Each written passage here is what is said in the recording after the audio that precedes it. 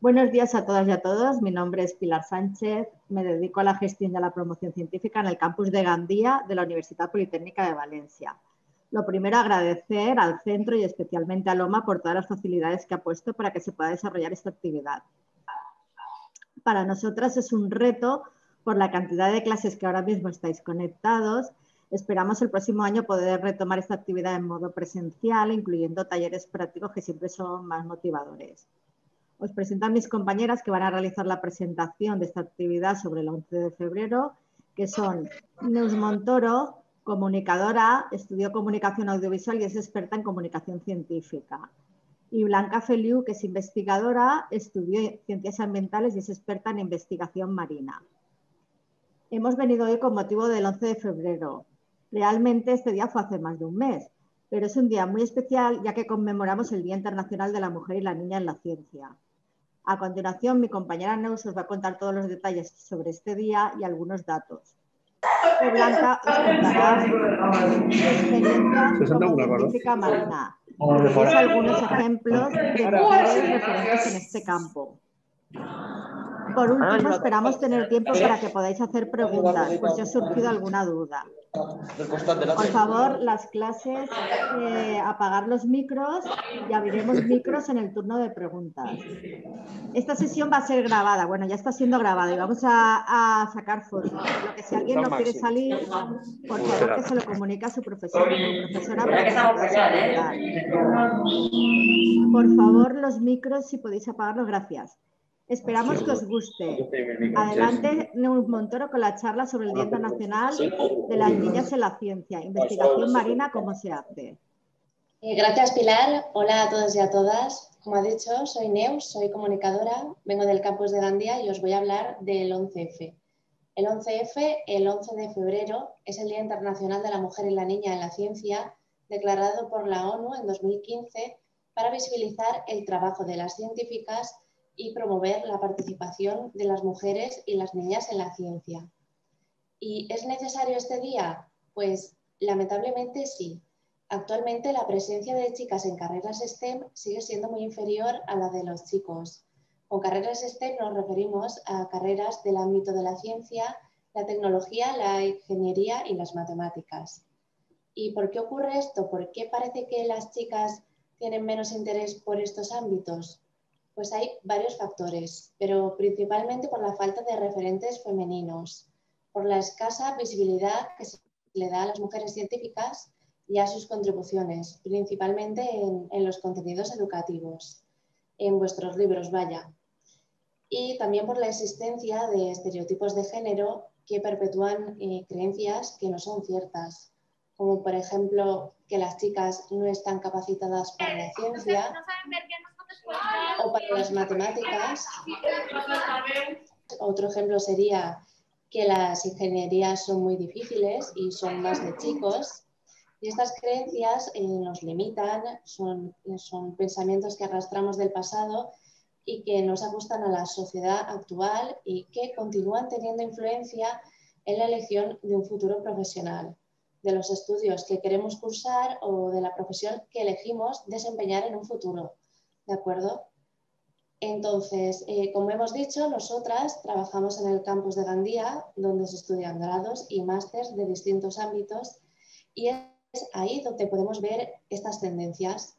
Por ejemplo, este año en el grado que estudió Blanca, en Ciencias Ambientales, hay equidad entre chicas y chicos, mientras que en el grado que estudié yo, en Comunicación Audiovisual, el porcentaje de chicas es superior.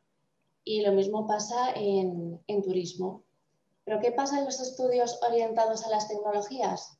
Pues que la tendencia, lo habitual es que haya más chicos matriculados. Por ejemplo, en la ingeniería de telecomunicaciones, sonido e imagen, hay casi el doble de chicas que de chicos. Y en el grado de tecnologías interactivas es más del triple. O sea que el número de chicas matriculadas es muy, muy reducido.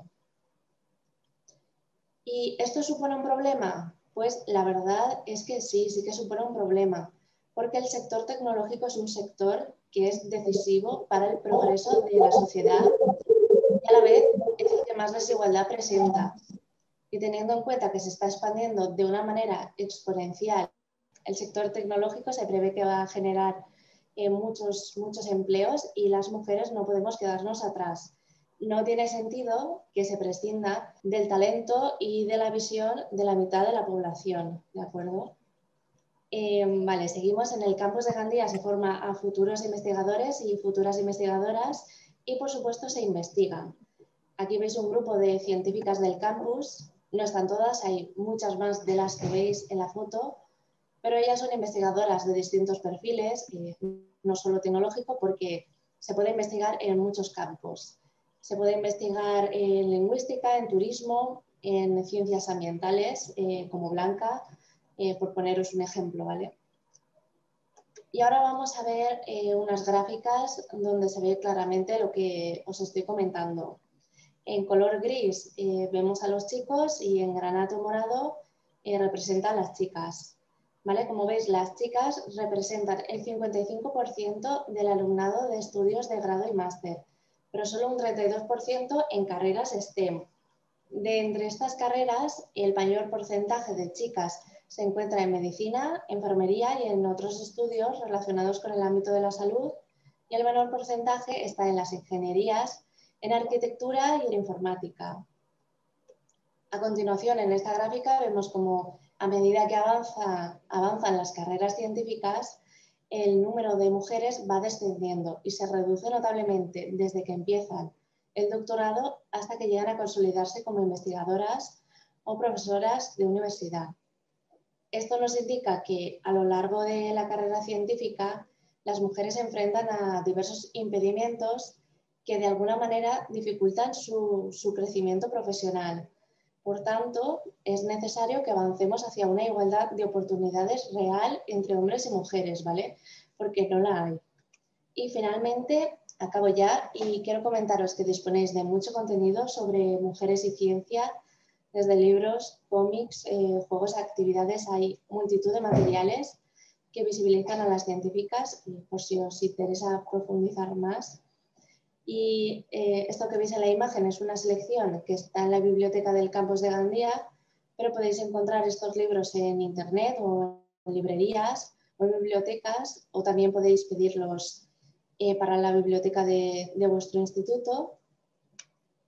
Y también recomendaros que veáis este vídeo, si no lo habéis visto ya, de la campaña No More Matildas, que está dedicado a sensibilizar eh, sobre cómo históricamente se ha ignorado a las científicas y se ha invisibilizado sus aportaciones y cómo esto nos afecta en la actualidad. Y es un vídeo muy chulo eh, que lo explica muy bien y que os puede interesar. Y ahora sí, eh, os dejo con Blanca Feliu, que es experta en investigaciones marinas del campus de Gandía y nos va a hablar de su experiencia como mujer científica y de su trabajo como investigadora. Hola, em, yo soy Blanca Feliu y, voy a compartir pantalla. Antes que nada. ¿Lo veis bien? Sí. Vale. Eh, mm, a hacer vos primer un de repàs sobre unes unes poques de totes les que n'hi han de les oceanogràfiques de, de la història, que no, probablement no conegueu doncs, perquè el seu nom s'ha anat perdent o no, no ha apareix reflectit en els llibres de text. Eh, Jim Barrett va ser la primera dona en fer la volta, la primera dona en fer la volta al món, encara que ho va haver de fer disfressada d'home per a que li deixaren navegar i si la descobrien s'enfrontava a conseqüències prou greus i el que va poder aportar gràcies a la seva disfressa d'home va ser el descobriment de 3.000 espècies noves de plantes. Mary Sears eh, fou una, una oceanogràfica també i el que va fer va ser ajudar a la Marina americana durant la Segona Guerra Mundial. Eh, la seva aportació va ser que el, el plàncton, que imagine que sabeu el que és, fa unes migracions nocturnes en vertical en la columna d'aigua. Llavors, quan, quan és de nit, el plàncton puja en busca de la llum, perquè n'hi ha, ha menys llum, llavors han d'apropar-se més a la superfície de, de l'aigua. I es formen unes masses prou denses d'aquest plàncton, llavors ella el que va descobrir i el que va ajudar a la Marina Americana eh, en aquesta Segona Guerra Mundial és a que si amagaven els, els submarins baix d'aquest núvol de plàncton, els sonars dels vaixells enemics, quan anaren buscant on estaven els submarins, es topetarien amb aquest núvol de plàncton i no descobririen el submarí. I d'aquesta manera, després tenien aquest avantatge. Eh, María Ángeles Alvariño González és una gallega que va descobrir 22 espècies noves de plàncton i per, un, no, per últim no, Eugene Clark eh, va estar bussejant fins a que va morir als, als 93 anys o 94 i, i va descobrir un repel·lent per a taurons. Mm, va veure que el tauró evitava menjar-se un peix que segregava una substància blanquinosa i, i va analitzar aquests, aquesta substància i així va, va fer un repel·lent per a taurons. I finalment, Sílvia Earl, que segueix viva avui en dia eh, i té actualment 86 anys, mm, va ser la primera, la primera dona en dirigir la NOA i va dissenyar el primer submarí que podia baixar a 1.000 metres de profunditat. I ara, després d'aquesta ràpida revisió, eh, bueno, jo sóc Blanca Feliu, com us hem comentat, elles posen sempre aquesta foto, però realment les pintes que tinc quan, quan vaig a, a per mostres, que és el que vaig a explicar-vos, són més bé estes. Eh, vaig a contar-vos un poc diferents tècniques de mostreig de plàncton, de coraligen, de posidònia i de vertebrats marins. Eh, imagina que el plàncton sí que sabeu el que és, el coraligen no tinc clar què és, així que vos diré que són unes formacions semi bueno, dures, els pescadors li diuen roca, són unes formacions que és calcàries que es fan en el fons marí, en, en Gandia en tenim, en tenim un tros, i, i n'hi ha, ha molts de huecos perquè es van formant com per capes i tal com van creixent van deixant huecos que serveixen de, de refugi per a molts de peixos, per, per a fer les seves postes, i alberguen molta vida. La Posidònia oceànica és una planta marina que sí que pense que sabreu el que és. Forma praderes i les pot trobar quasi en tota la costa valenciana i els vertebrats marins us parlaré un poquet de, de dofins i de tortugues. Vale, us ensenyo primer un xicotet vídeo de com es mostrejaria el plàncton a, a xicoteta escala, que és amb, amb una xarxa de plàncton, això és en el port i ho estem estirant en la mà. I després us ensenyaré la, la xarxa manta que s'utilitza per, a, per a mostrejar eh, superfícies més, més grans. Una volta s'ha arrastrat la xarxa en un, en un, en un, durant uns metres coneguts, eh, es deixa que s'escorrega i aquí baix es queda acumulat el, un xicot, una xicotet proporció d'aigua amb el, el plàncton que n'hi havia en aquest recorregut que s'ha fet amb la xarxa. És del port i està un poc bruta, però ahí és on podríem trobar el plàncton. I a més gran escala,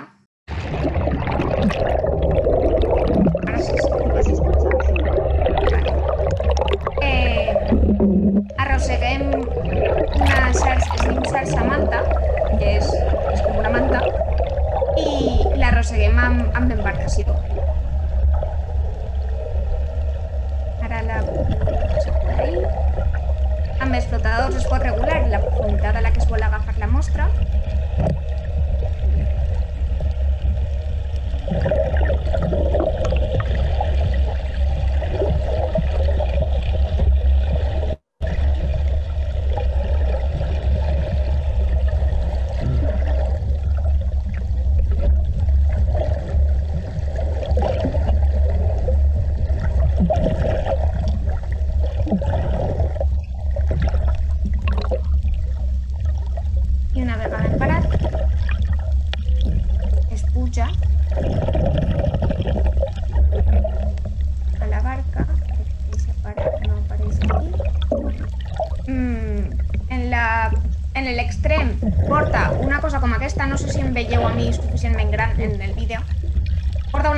aquesta, que és on es quedaria acumulat tot el plàncton i el que després ens emportaríem al laboratori per a, per a mirar en, en la lupa o en el microscopi. I quan ho pugem a la barca té aquesta pinta. ho pugem amb, amb una polea i, i la netegem per a que es quede tot acumulat en, en l'extrem, que és el que després ens podrem emportar còmodament. I el plàncton que just en aquest cas estava mostrejant era eh, larves de Callinectes sapidus, que és el carranc blau, no sé si heu sentit parlar d'ell, però és una espècie invasora que en els últims anys està, està agafant molt de terreny en la zona. I el que d'eixes mostres es va trobar va ser això, que és la pinta que tenen les larves. Això serien els ulls, això és l'espina que té, aquí la boca, això seria la cua. Aquestes espines que té són les que després, ara us ensenyaré un exemplar adult, són les que després eh, li apareixen al, al costat. I no sé si el veureu bé, El veieu bé? Sí. Bueno, és un mascle, veieu que té les pinces de color blau, està, està congelat, però... A veure... Bueno, aprecieu el blau? Sí, veritat. Vale.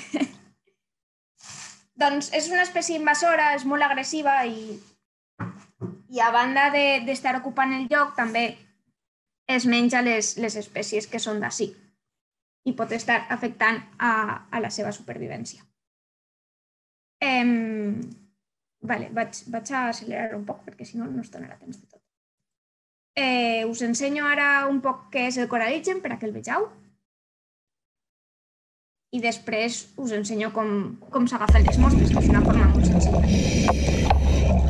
Això seria el coraligen. Veieu que n'hi ha molts de huecos on, on poder-se amagar. Deixen molt pesades sobre aquesta superfície.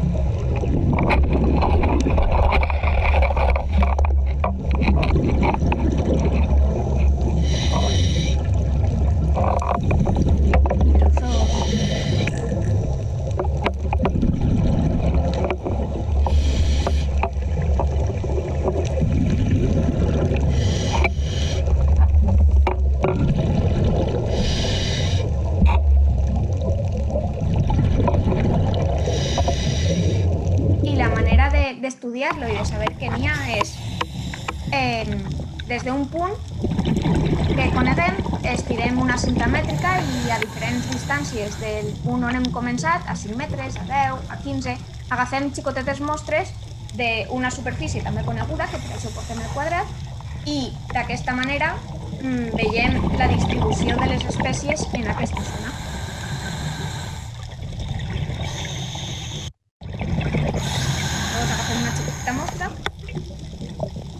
Passar-nos, perquè costa molt de recuperar aquest tipus d'ecosistema i ho anem guardant en, en potets que després ens endurem també al, al laboratori per identificar les, les diferents espècies. I això ho fem amb, amb.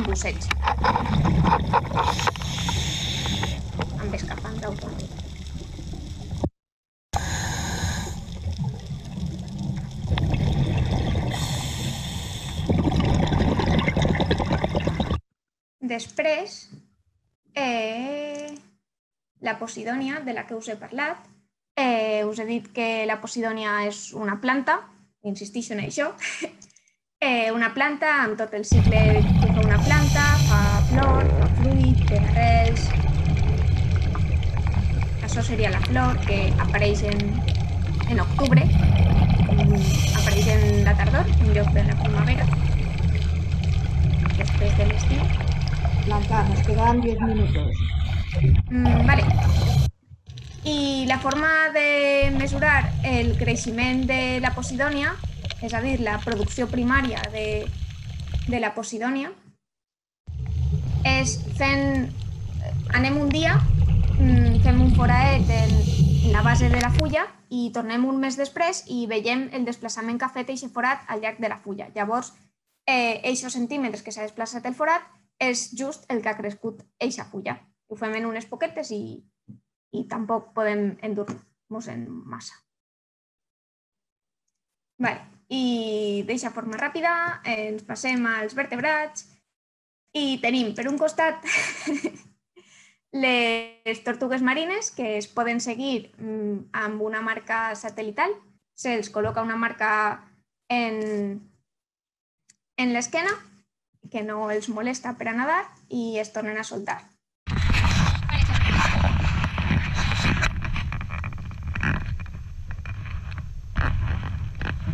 i amb aquesta marca, mm, durant el temps que li dura la bateria, va enviant senyals i es pot veure el recorregut que fa la tortuga, com se'n va, eh, i d'aquesta manera identificar zones d'aparellament, zones d'alimentació, ús d'hàbitat.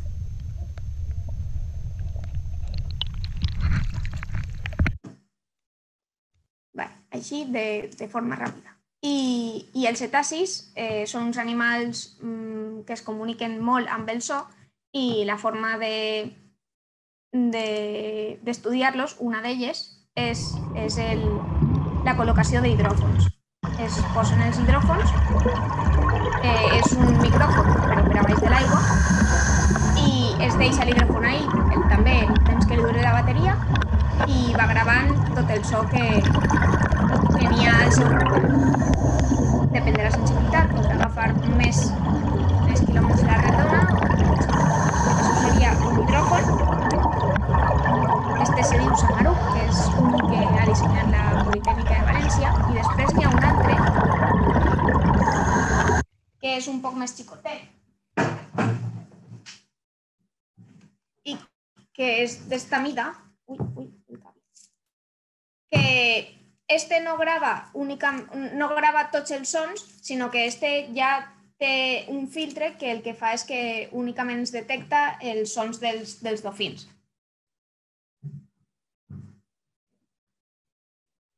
I, i us pose ara un àudio. No, l'escolteu? L'escolteu? Sí. Ui, s'ha parat.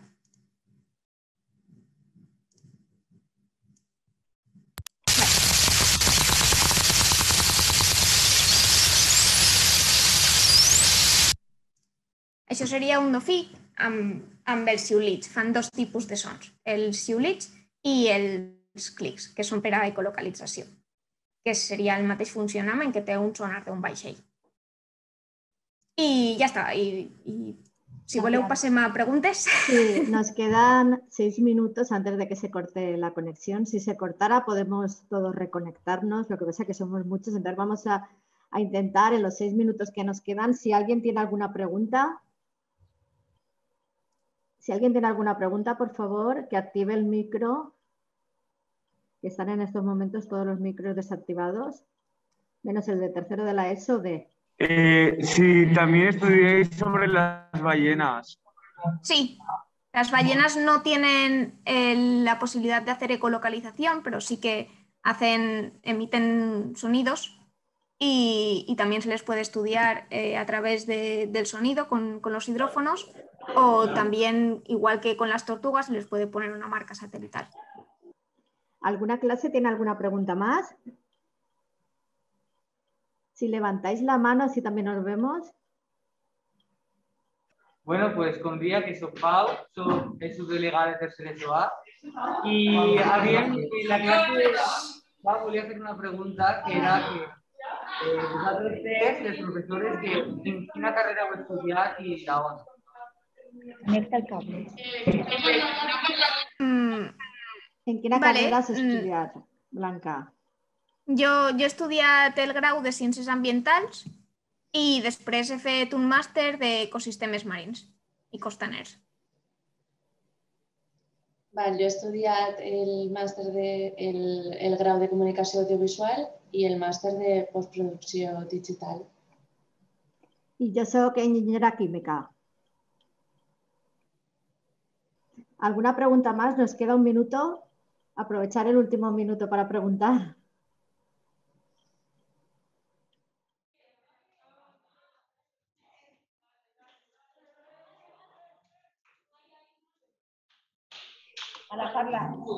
Eh, hola, yo soy Lilla. Voy a preguntarte que en los vídeos eh, si feu com expedicions I això, cada quan fer les, molt les expedicions? Mm, doncs eixim, eixim a la mar quan, quan hem de fer alguna cosa. Mm, per exemple, este divendres hem d'anar a, a Dènia a posar un d'aquests hidròfons.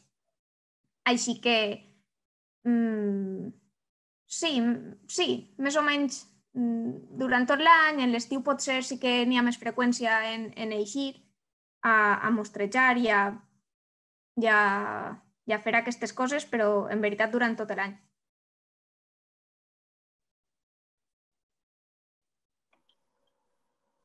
Nos queda ya menos de un minuto, que si queda alguna pregunta nos podemos reconectar. Creo que te están aplaudiendo, están aplaudiendo tercero de la ESOA, aunque no los oigamos. Parece que tercero de la ESOB también aplaude. bueno, pues si no hay más preguntas, eh, agradeceros a todos vuestra participación en este turno de preguntas y agradecer al profesorado su implicación en esta actividad. Y muchas gracias a todos y a todas. Os enviaremos una encuesta para ver si os ha resultado interesante y esperamos el próximo año poder hacer la actividad en modo presencial. Así que nada, nos despedimos si no hay ninguna pregunta y, y nos vemos pues en breve.